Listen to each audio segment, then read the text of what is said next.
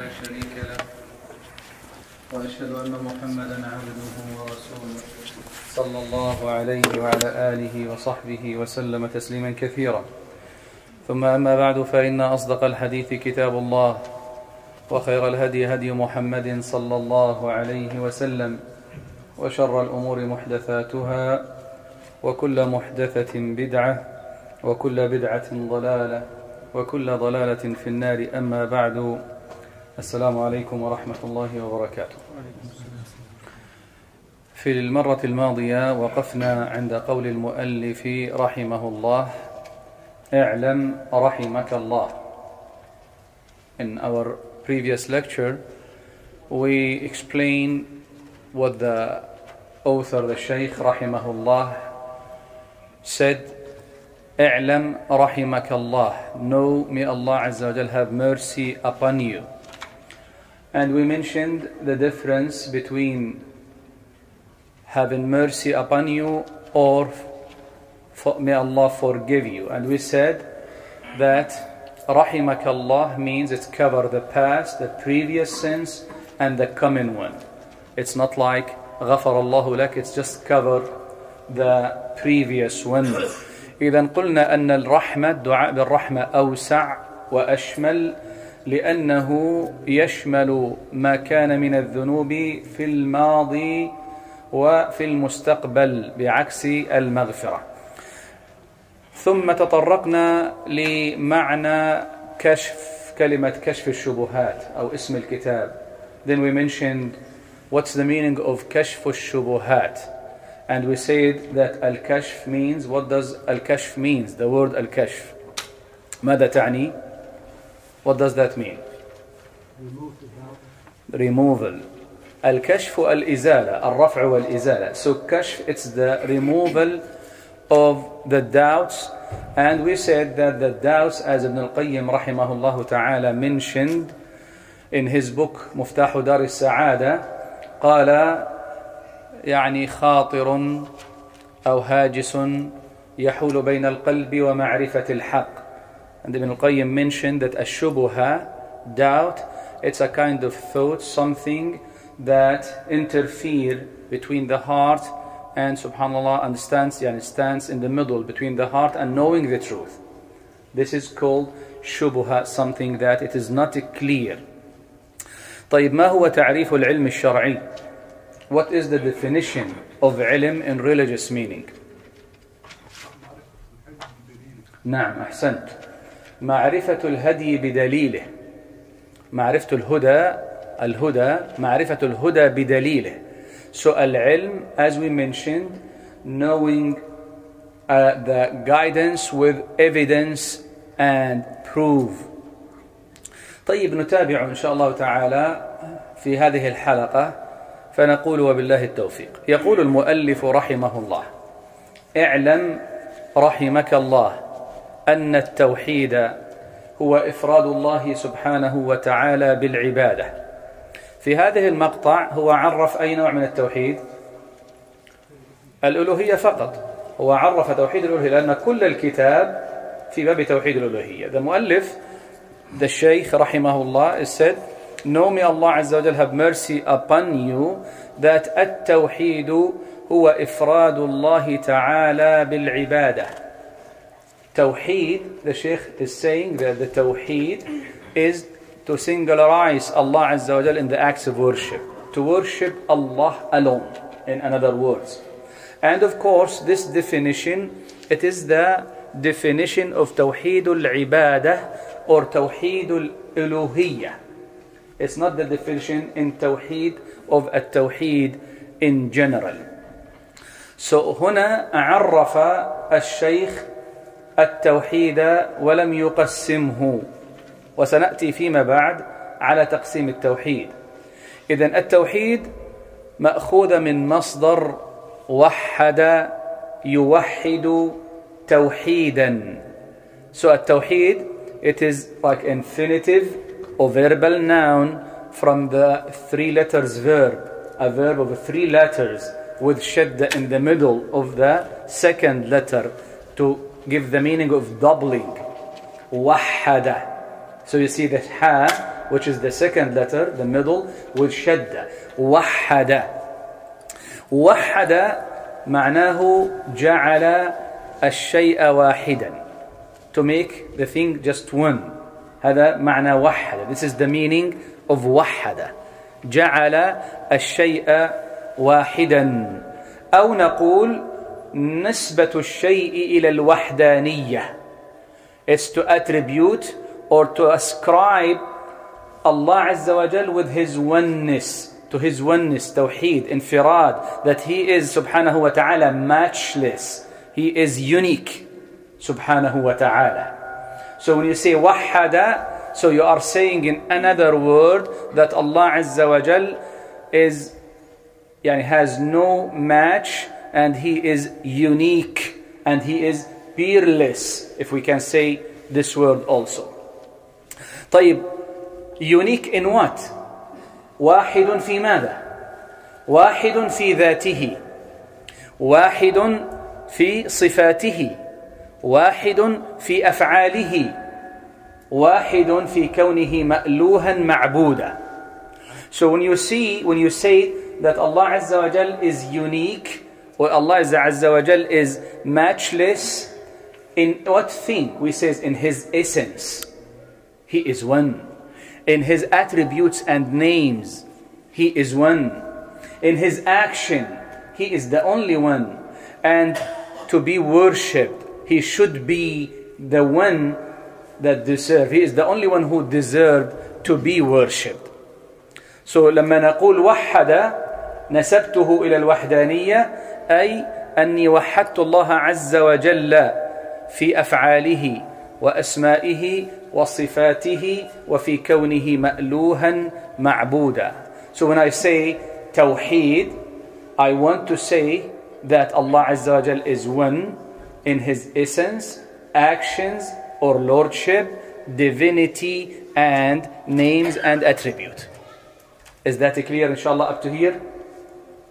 طيب الآن هذا المعنى جعل الله أو أن الله تعالى هو معبود أو إفراد الله بالعبادة لما دعا النبي صلى الله عليه وسلم الناس إلى شهادة أن لا إله إلا الله ماذا قالوا؟ أجعل الآلهة إلها واحدا. When the prophet صلى الله تعالى عليه وسلم invited the people of Quraysh to worship Allah what they answered? they said as Allah Azza wa mentioned in Surah Sad in the ayah number 5. Allah the Almighty said more or less, has He made, this is the answer of people of Quraysh, has He made the aliha, gods, all into one ilah? Verily, this is a curious thing. إذا التوحيد لو أردنا أن نعرفه بعبارة أوضح بعبارة أوسع ماذا نقول؟ نقول أن التوحيد هو إفراد الله تعالى في ربوبيته وإفراد الله تعالى في أسمائه وصفاته وإفراده في ألوهيته وعبادته. So if we want to give a clear definition and a simple one to التوحيد we will say التوحيد is to singularize Allah Azza wa Jal in his acts of worship in his, in his lordship in His Lordship, in His names and attributes, and in His divinity. This is the Tawheed that we should, inshallah ta'ala, have in our mind every time we are speaking about التوحيد. إذا التوحيد حتى نأتي به على الشكل الصحيح والمطلوب. لابد أن نستحضر أو أن نقر ونثبت أمرين اثنين. إثبات تام ونفي تام. حتى نتحصل to achieve the reality of التوحيد we have to have two things in our mind in our hearts. Two things. the first one is the plain the absolute negation نفي تام And the second is the plain or absolute affirmation or confirmation. So نفي تام وإثبات تام تنفي وتثبت to negate as Allah Azza says فاعلم أنه لا إله أو لا في قول لا إله إلا الله so you clean your heart you negate the power nobody no one nothing should be worshipped then you say except Allah wa Jal the Almighty وهذا المعنى اللي هو النفي التام والإثبات التام مأخوذ من أين؟ من لسان العرب بداية من اللغة العربية يعني نمثل. تقول آه، أحمد قائم هذا إثبات ولا نفي؟ إثبات. إثبات ولا نفي؟ مالكم تقول أحمد قائم. أنتم خايفين شوية. طيب relax relax When we said this is, I mean, this meaning we took it from Arabic language. When you said Ahmad is standing up or is standing, you are confirming here or you are negating his standing? Confirming or negating? He is standing. So you are affirming that he is standing, right? Does that mean that nobody else is standing beside Ahmad? Do you understand this when you say Ahmed is standing? Maybe Mahmoud is standing. Maybe Abdullah is standing, right? So if you just affirm, you will not have the unique, you will not have the, the meaning that we want to prove or affirm to Allah Azza wa regarding at-tawheed. So you have to bring both of them. إثبات ونفي you have to affirm and to negate. And this is again in لسان العرب. العرب يقولون في اللغة العربية ما قائم إلا أحمد. When you say this statement, nobody is standing except Ahmed. What does that mean? Is the only one, is the unique that he is standing, Ahmed. So when we say التوحيد لابد من نفي we have to negate and affirm after that. It's the same in this meaning is coming from Arabic language. This is why when Allah Azza wa Jal in so many different ayat, He gave us this meaning. Allah Azza wa Jal, one of the ayat said, وَإِلَاهُكُمْ إِلَاهُ وَاحِدٌ لا إله إلا هو So Allah Azza wa Jal في هذه الآية that we can translate in Surah Al-Baqarah 163 the verse and your ilah God is one one ilah then he said لا إله إلا هو there is none who has the right to be worshipped but he الآن هذا المعنى أصبح واضحا right now we understand that nobody deserves to be worshipped except Allah Azza wa Jal.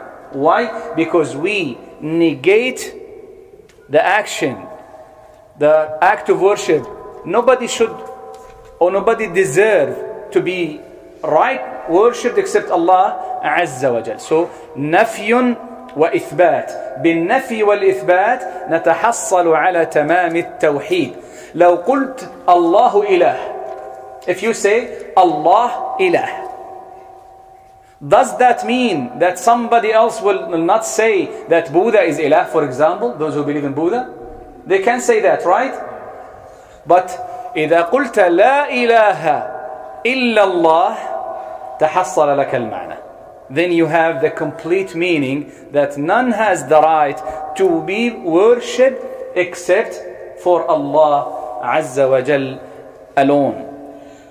وهذا طبعا مهم جدا في فهم التوحيد لأن بعض الناس يثبت كما سنرى بعض أفعال الله عز وجل لكن لا ينفي العبودية عن غير الله عز وجل This is very important to understand the tawheed that we are talking about because some people they affirm the acts of worship and lordship especially they affirm that but they do not negate the divinity nature or the oneness of Allah Azza wa Jal in His divinity. This is why it is so easy for them to fall in some acts of shirk. طيب الآن لو تحدثنا عن أقسام التوحيد أقسام التوحيد How many kind of توحيد we have? Four? Three? Any other opinion? Three and a half. طيب four, three and two. Indeed, some scholars they said four, some they said three, and some they said two. None of them said three and a half. Okay, so we have two types of tawheed, but the general statement, the thing that it is well known among the scholars, that tawheed are of two types. Tawheed are of two types, and Tawheed are of three types. This is the well known among the scholar. The fourth, which is fourth type, it, you will see that the fourth type is included, is included with one of the Tawheed that we mentioned, inshaAllah ta'ala. طيب, why is why we have such a difference between the scholars regarding التوحيد لماذا عندنا هذا الاختلاف توحيد نوعان أو التوحيد ثلاثة أنواع why we have such a difference between the scholars. Indeed, first of all, we should understand that كما يقول يعني أهل العلم لا مشاحة في الاصطلاح لا مشاحة في الاصطلاح. معناها معنى هذه القاعدة إن الخلاف إذا كان واقعا في الأمور الاصطلاحية فإنه لا, فإنه لا يبنى عليه حكم ولا اعتبار به.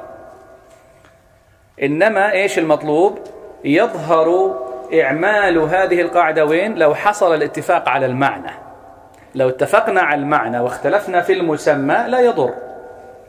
So there is a rule between the scholars that said more or less there is nothing wrong with using a new terminology nothing wrong the principle is well known this principle among the fuqaha in usul al-fiqh especially. So this is why Ibn al-Qayyim rahimahullah ta'ala said there is nothing wrong with the new concepts and the new words unless there is something bad about them. What does that mean? Unless there is something bad about them. يعني لو أن هذا التعريف أخرج معنى من معاني التوحيد فنقول لا نضع عليه X ونلغيه من القائمة that if this new terminology or definition take out one of the meaning of tawheed, so we are not, now the difference is not regarding terminology or words. So, it is so easy to understand why we have two types of tawheed, and it is so easy to understand why some scholars divide it to three types of tawheed. Those who divide it for two types of tawheed, though they look at you. مكلف موحد من قسم التوحيد إلى قسمين نظر إلى الموحد أو المكلف. ماذا يتوجب عليك كمكلف؟ ماذا يتوجب عليك؟ فقالوا يتوجب عليك أمران اثنان. أمران اثنان. الأمر الأول توحيد العلم والمعرفة الإثبات والمعرفة. توحيد الإثبات والمعرفة. والثاني توحيد القصد والطلب. So those who look at you as a mukallaf, as somebody that Allah orders you to worship Him, says they said, What things is obligatory upon you regarding at Tawheed? What things? They say two things. As a mukallaf, you have to believe in two things or to bring two things. Number one, Tawheed al Ma'rifa wal Ithbat. Tawheed al Ma'rifa wal Ithbat, which is oneness of knowledge and affirmation. Oneness of knowledge and affirmation. هذا النوع من التوحيد يشمل نوعين من انواع التوحيد توحيد الربوبيه وتوحيد الاسماء والصفات واضحه هذه الصوره this type of توحيد the first type of توحيد which is المعرفه wal-ithbat, which is oneness of knowledge and affirmation, includes two things. Includes two things. The oneness of Allah Azza wa Jal in His Lordship and the oneness of Allah Azza wa Jal in His names and attributes. So now, the two type of Tawheed are included in one.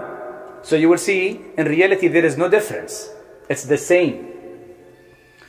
هذا التوحيد الأول والتوحيد الثاني هذا التوحيد يسموه توحيد إيش؟ أيضا خبري.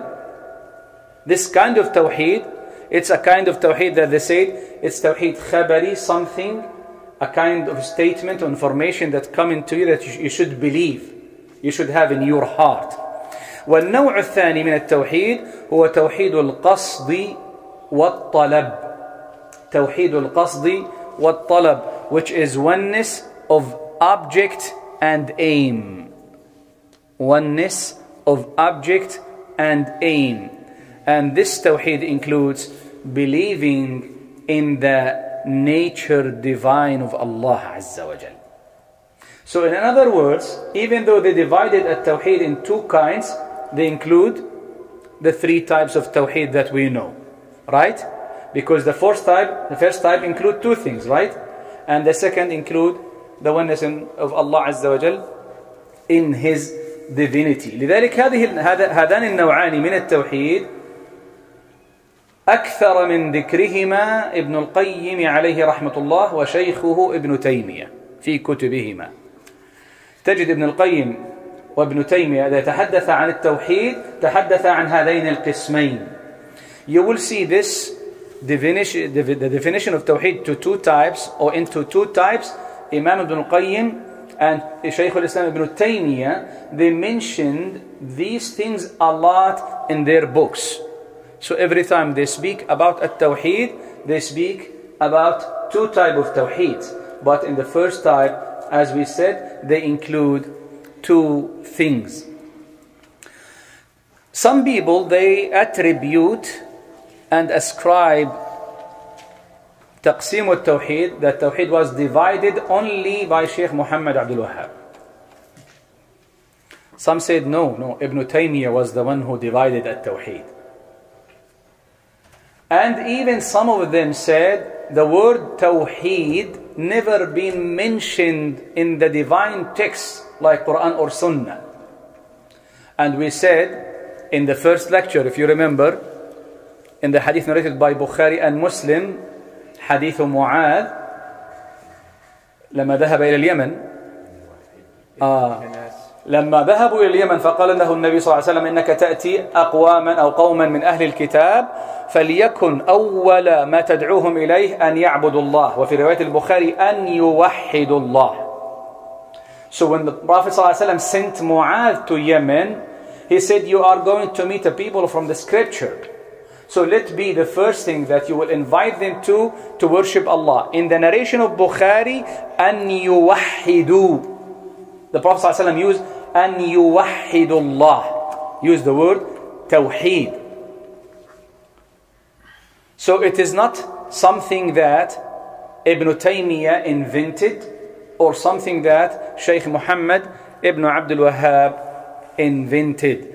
So it is in the hadith of the Prophet ﷺ, which is the word أن يوحد or the word التوحيد ثبتت في كلام النبي صلى الله تعالى عليه وسلم وليست من تقسيم شيخ الإسلام ابن تيمية وليست من تقسيم ابن الشيخ محمد ابن عبد الوهاب عليهما جميعا رحمة الله تعالى طيب الذي قسم التوحيد إلى قسمين قلنا التوحيد الأول ماذا نسميه خبري. المعرفة والإثبات أو الخبر طيب الخبر الخبر أو قبل أن نخوض في الخبر اللي هو I, I don't know if I have the good or the right translation for khabar it's like information or notification can we use this for al khabar can we use this word in translation khabar طيب الخبر أنا أعطيك آية ومثالا I will give you an example to see what is الخبر what I mean by that الخبر لأن التوحيد الأول القسم الأول شيء تعتقده في قلبك The first type of توحيد المعرفة الإثبات you have to believe in your heart to build it to establish it in your heart Now أنا أعطيك مثالا الله عز وجل يقول الله لا إله إلا هو الحي القيوم. لا تأخذه سنة ولا نوم. هذا المقطع من آية الكرسي في سورة البقرة. مظبوط طيب هذا المقطع الله عز وجل فيه يقول الله لا إله إلا هو الحي القيوم. إذا الله عز وجل يخبرنا بصفتين من صفاته مثبتتان أم منفيتان So Allah Azza wa Jalla in the ayah of Surah Al-Kursi, He said more or less the translation, Allah la ilaha illa huwa, none has the right to be worshipped but He, the ever living, the one who sustains and protects all. In this uh, part of the ayah, the ever living, is it a quality of Allah Azza wa Jalla or it is not? It is. Is it affirm affirmative one or negative one? Affirmative, right? So Allah Azza wa Jal is telling us regarding two qualities. One, He is Al-Hayy. Second, He is Al-Qayyum. Al-Qayyum.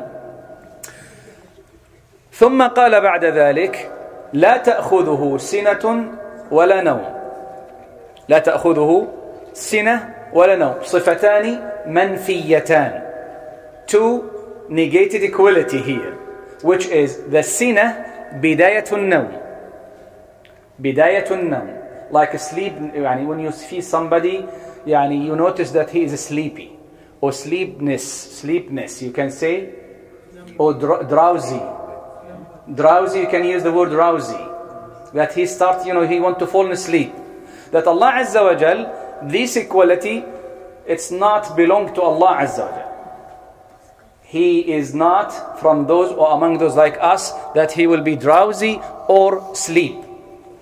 So here two qualities مثبتتان صفتان وصفتان منفيتان هذا اسمه ايش خبر This we called it خبر يعني Allah عز وجل is telling you is informing you Regarding these qualities Now as a مكلف as a مكلف تستطيع أن تثبت أو تنفي. صحيح؟ كمكلف كمكلف. الخبر يحتاج تصديقا أو تكذيبا إثباتا أو نفيا. واحد يقول لك محمد فعل كذا. تصدق أو لا تصدق؟ So this is a خبر something that Allah Azza wa is informing you about his equality So you as a believer, man or woman, you affirm or you deny. Right? Al-Khabar, regarding Al-Khabar, or you said, yes, I believe in that, or you said, no, I do not believe in that. Yes, I affirm what Allah Azza wa has affirmed for himself, or no, I do not affirm what Allah Azza wa has affirmed for himself. Is that, is that simple? Is that, you understand what I'm saying? إن شاء الله تعالى. يعني بكلام مختصر وواضح.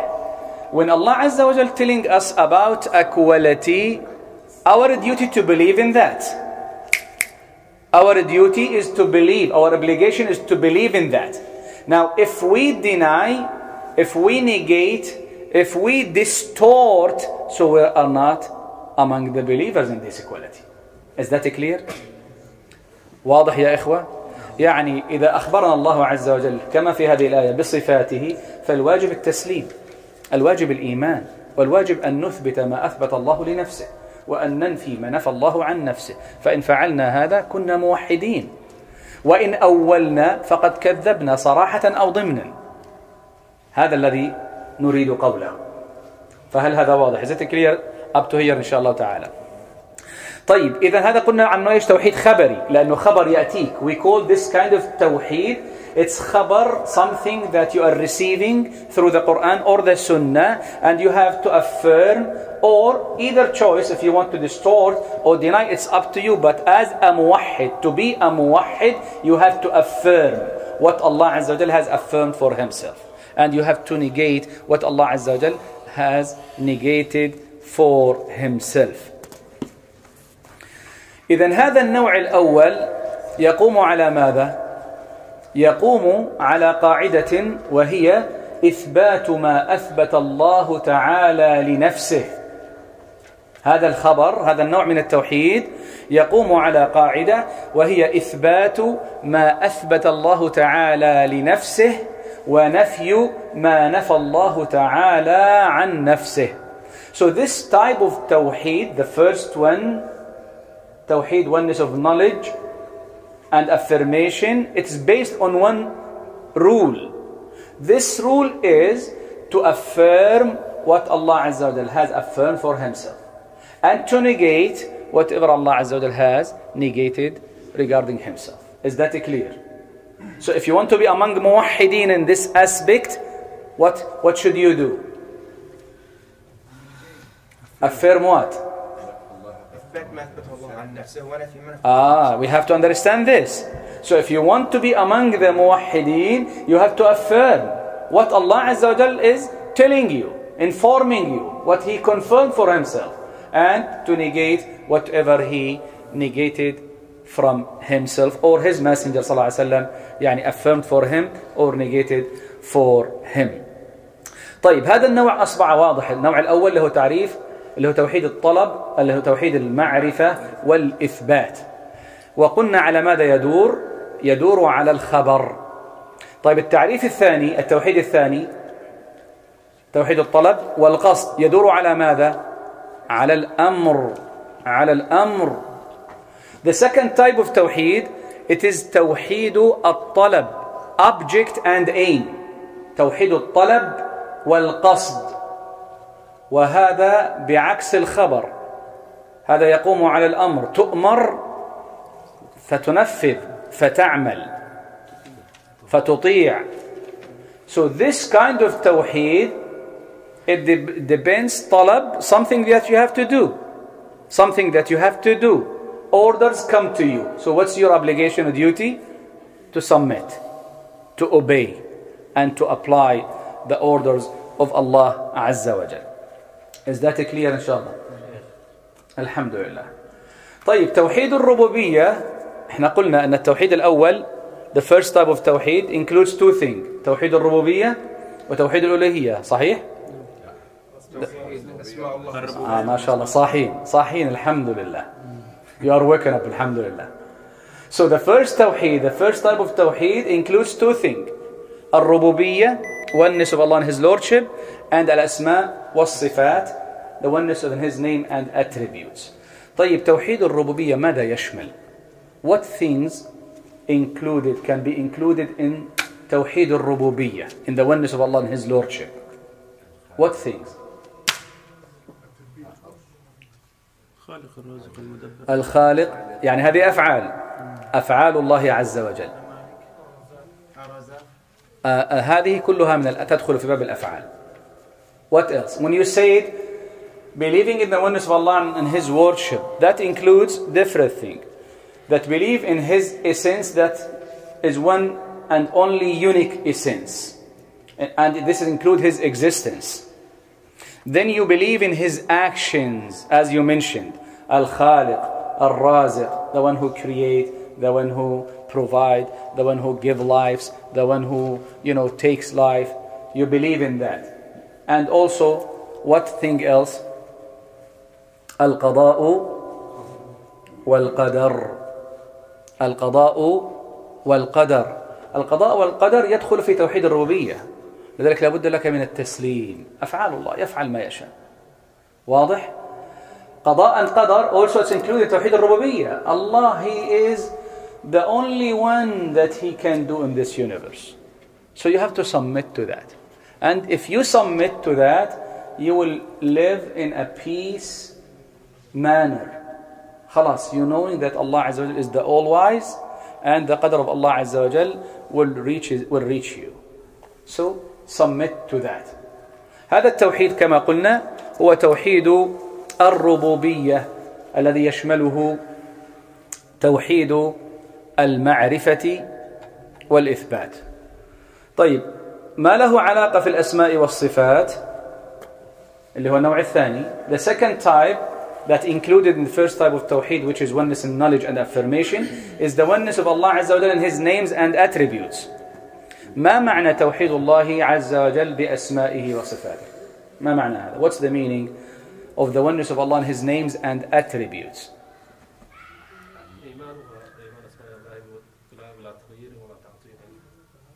نعم يعني فيه نؤمن بما أثبته الله لنفسه أو رسوله من أسماء وصفات من غير تشبيه ولا نعم. نعم هو الحمد لله المعنى قريب وطيب لكن لو أردنا أن نعرفه بتعريف يعني ميسور لأن التعريف يجب أن تكون جامعة ومختصرة نقول في تعريف توحيد الأسماء والصفات هو اعتقاد إفراد الله تعالى بالكمال. اعتقاد إفراد الله تعالى بالكمال المطلق من جميع الوجوه. على أي وجه؟ على ما جاء به الكتاب والسنة. على ما جاء في القرآن والسنة. So تعريف الأسماء the definition of names and attributes is to believe or to singularize Allah Azza wa Jal in perfection. that he is the only one that who is per, that he is perfect in his names and absolute perfect we are talking about a kind of perfection which is absolute and plain perfection as it was mentioned in al-quran and as-sunnah so we believe in that we believe in that inshallah ta'ala طيب هذه الأسماء والصفات كيف نتعاطى معها ونتعامل معها؟ هذا مهم جدا أن نعرفه. How we should deal with the names and the attributes of Allah عز وجل. نتعامل معها كما تعامل السلف. السلف الصالح رضوان الله عليهم كانوا يمررون النصوص كما جاءت. The Salaf they used rahimahum Allah ta'ala, they passed the text as they came without distortion. Without distortion. They used to pass the text as it is without distortion. Is that clear? To believe in the names, in the attributes of Allah Azza wa Jal, and don't try to ask how, because you will not reach to know how. So just believe in it as it is inshallah ta'ala and you will be safe. The other قاعدة, the other rule it is إثبات بلا تشبيه وتنزيه بلا تعطيل. The other rule إثبات بلا تشبيه وتنزيه بلا تعطيل which is if we can say يعني إثبات it's affirmation without likening or resembling without likening or resembling and tanzih bila ta'til, perfection without imperfection, if we can say that. I don't know if we can say it. Means that Allah Azza wa Jal is perfect and we should not put out of actions His equality. We should not diffuse or inactivate any of His equality. We should not do that. So this is the rules that we have regarding al-asma' was-sifat. طيب نشرح النوع الثاني وإن تعبتم نتوقف. ما شاء الله عليك يا عبد الرازق. خلاص يبقى نشرح النوع الثاني. إن شاء الله ونتوقف كما قلنا. أنت واقف ولا؟ طيب. طيب النوع الثاني من التوحيد ونمر عليه في عجالة توحيد الطلب والقصد. The oneness of Allah in object and aim. وهو التوحيد العملي. هذا التوحيد we called it practical توحيد. توحيد الألوهية أو توحيد العبادة. If you look إذا نظرت إلى المخلوقين ماذا تسميه؟ توحيد العبادة. هو العبادة تصدر من مين؟ If you look at the creatures I mean ants and jinn you will call the توحيد what? عبادة because they are doing the عبادة so this is why we call it توحيد العبادة لكن لو قلت توحيد الألوهية فمن فأين تنظر؟ إلى المتعلق وهو الله عز وجل. إلى المعبود أو المتعلق. لأنه عندنا متعلق وهذه يمكن صعبة شوي في الترجمة عندنا المعبود المتعلق هو الله. تنظر إلى الله تقول توحيد الألوهية. لكن عندنا متعلق ومتعلق. فالمتعلق هو الله والمتعلق هو العبد. فلو نظرت إلى المتعلق قلت توحيد العبادة وإن نظرت إلى المتعلق قلت توحيد الألوهية. So توحيد الألوهية when you speak about Allah عز وجل concerning Allah عز وجل regarding Allah عز وجل you will say توحيد الألوهية. But if you look at ourselves you will say توحيد العبادة the oneness of Allah in our action. Because we are the one that we are doing the ibadat so we have to make the tawheed the oneness of Allah عز وجل in our عبادات طيب نكتفي بهذا القدر you see before finishing that ليس عندنا اختلاف بين من قسم التوحيد إلى قسمين أو إلى ثلاثة أقسام طيب حنجيبك عليه Even there is no difference between the one who divided Tawheed to two or to three because the result is one. Is the oneness of Allah and His Lordship, divinity, and asma and sifat. إذا توحيد خبري خبر يأتي من الله تصديق أو تكذيب نفي أو إثبات واضح Let us go with this to our homes Let us go with this inshallah. Tawheed khabari, something that you hear from the Quran and Sunnah, and what the thing that you hear, you have to believe. Maybe some people will deny. You have to affirm. Maybe some people will negate. So regarding the first tawheed, we said تصديق أو تكذيب نفي أو إثبات believing or disbelieving or affirmation or negation توحيد the second توحيد توحيد العملي توحيد القصد والطلب أمر ونهي افعل ولا تفعل واضح is that clear the second type is do and be away from stay away from do the واجبات and be away from the محرمات affirm what Allah Azza wa is telling you and negate what Allah Azza wa is telling you to negate so the result as we said we do not have difference in the meaning. It's the same thing. Three of them lead, the two groups lead, lead you to three types of tawheed that we should have in our mind. طيب, the last question before opening a gap for you to ask, does this type of tawheed were, or do, they, do, do these types of tawheed were mentioned in the Quran? هل ذكرت هذه الأنواع من التوحيد في القرآن؟ يس نعم. يا دكتور تقسيم هذا لا. ليس التقسيم لكن هل ذكرت أو يعني هو استقراء هو لم يذكر بواحد اثنين؟ نعم. طبعا طبعا. طيب أعطونا بعض الآيات. Give us some example from the Quran. سورة الفاتحة. أحسنت. سورة الفاتحة is one of the first thing that the three type of tawhid were mentioned. When you say Alhamdulillah Rabbil Alameen, Rabbul Alameen, Tawheed, what kind of Tawheed here? ما نوع التوحيد؟ ربوبية Lordship. الرحمن الرحيم أسماء وصفات right?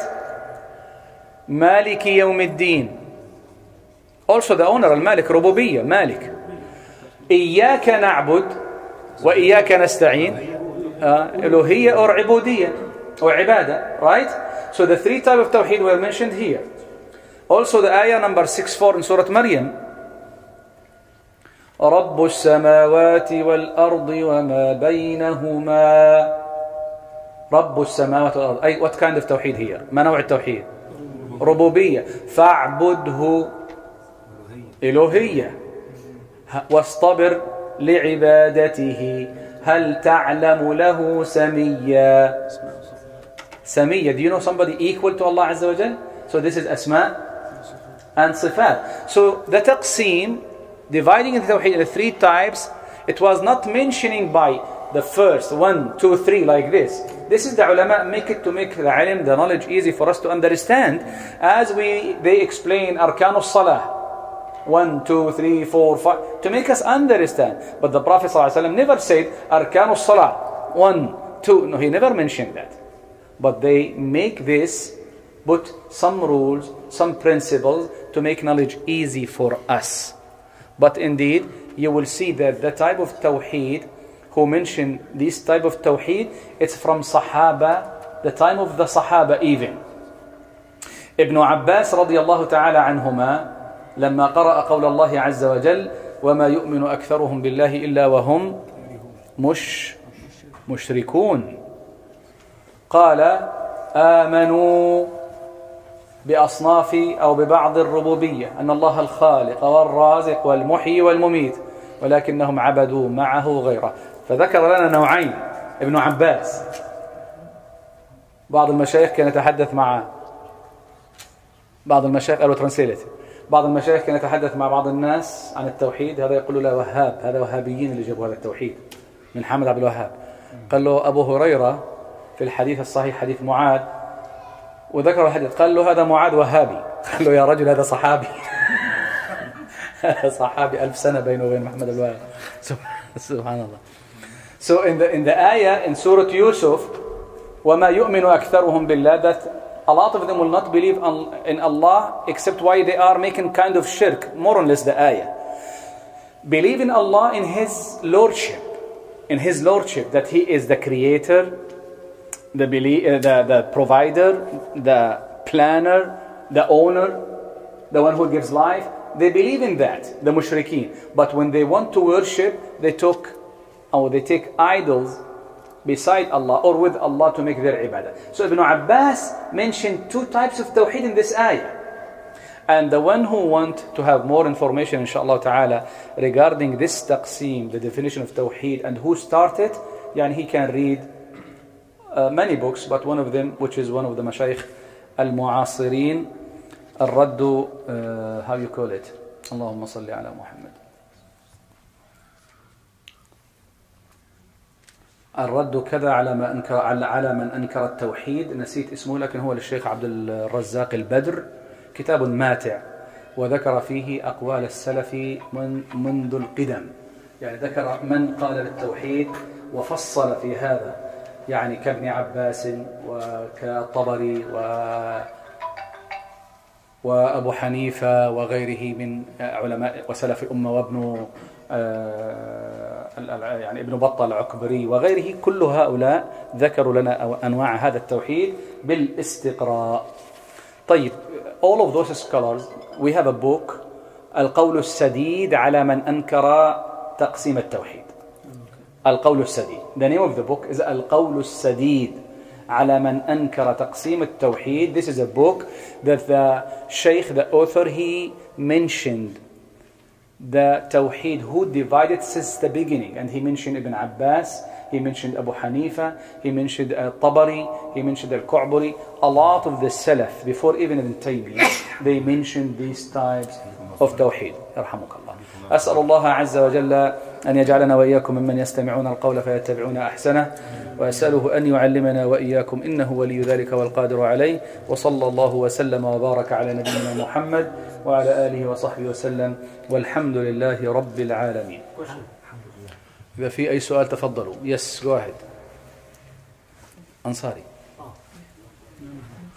Is that the, I mean, to summarize, with all these two type of the uh, tawheed that you've been explaining, like all this ma'rifah and ma'rifah, is that correct to say that you summarize it that these two types of tawheed be called by al-ilm and wa'amali? Al-amal, that's and right. just I say al-ilm and wa'amali Yes. Yes. These two types of tawheed that we explain, the first one, which is tawheed al-ithbat wal-ma'rifah, oneness in knowledge, and affirmation. Ibn Taymiyyah rahimahullah called it التوحيد العلمي scientific or scientific tawheed. And huh? or practical no no العلمي عفوا العلمي العلمي knowledge knowledge عفوا أنا I I mistake I I did the mistake والتوحيد الثاني القصد والطلب سماه التوحيد العملي now this is a practical So Ibn Taymiyyah mentioned توحيد علمي وتوحيد عملي توحيد based on knowledge something that you have to believe and then توحيد عملي practical that you are doing and practicing so it's okay because as I said there is nothing wrong in using a new terminology if the meaning is the same we agree about this إن شاء الله قاعدة from the beginning that لا مشاحة في الاصطلاح إذا كان المعنى والمضمون واحد نعم أي سؤال آخر؟ Any other question? Either you understood or you either you don't understand anything. طيب جزاكم الله خيرا. تذكروا غدا الجمعة يعني لمن أراد الصيام تاسعاء لمن أراد الصيام عاشوراء فيعني إن صام غدا يكون خير وبركة إن شاء الله تعالى. جزاكم الله خير. صلى الله وسلم وبارك